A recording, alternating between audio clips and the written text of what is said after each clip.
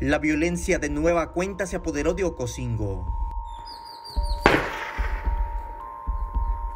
En un comunicado firmado por el Frente Nacional de Lucha por el Socialismo, el FNLS acusó al grupo de los Petules de desaparecer a su compañero Daniel Gómez Santis y esto ha desatado la confrontación.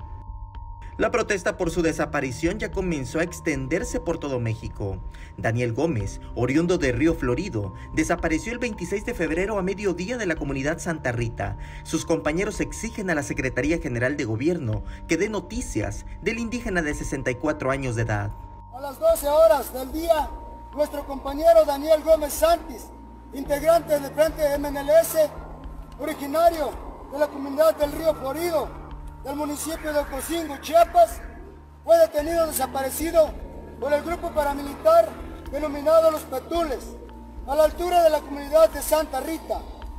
Hasta este momento no sabemos nada de nuestro compañero, por lo que nos preocupa la condición en la que se encuentre hicieron el llamado para atender la violencia que se ha desatado, toda vez que acusaron a los petules de provocar incendios en Río Florido y el Carrizal.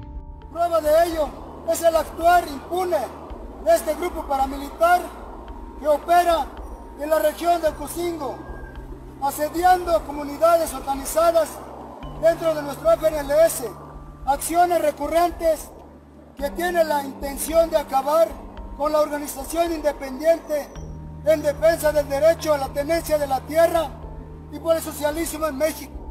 El FNLS también denunció que este grupo al que tildan de paramilitar se dedica a la tala y venta ilegal de madera y que por ello podrían haber privado de su libertad a su compañero por las acusaciones que han realizado. Samuel Revueltas, Alerta Chiapas.